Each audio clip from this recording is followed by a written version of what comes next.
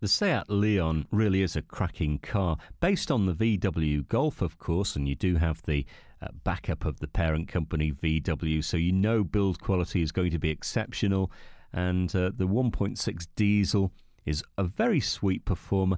I love driving this car. I think it's one that will give you worry free motoring day in, day out. You'll find it responsive, and yet running costs will be extremely keen.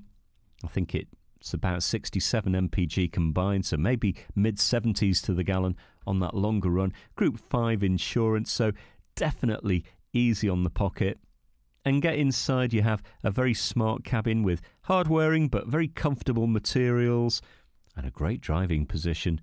Decent sized boot as well, so all in all, I think a practical motor that you'll make friends with very quickly.